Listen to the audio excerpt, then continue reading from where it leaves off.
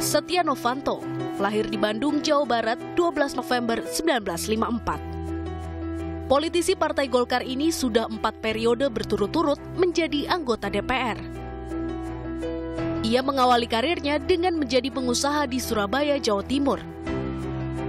Setia Novanto kemudian melakukan sejumlah ekspansi bisnis hingga ke Batam dan Jakarta.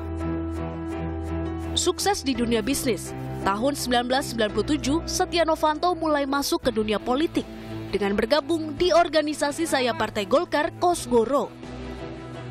Dua tahun bergabung dengan Partai Golkar, Novanto menjadi anggota DPR mulai tahun 1999. Empat periode berturut-turut menjadi anggota DPR, Novanto terpilih menjadi ketua DPR. Namun pada 16 Desember 2015, Novanto mengundurkan diri dari jabatan ketua DPR karena tersangkut kasus pencatutan nama Presiden Joko Widodo dalam permintaan saham kepada PT Freeport Indonesia. Setia Novanto juga sempat menjadi kontroversi atas kehadirannya sebagai ketua DPR bersama Fadlizon dalam sebuah konferensi pers politik bakal calon Presiden Amerika Serikat Donald Trump. Kini Setia Novanto terpilih sebagai Ketua Umum Partai Golkar periode 2016-2019. Tim Liputan Kompas TV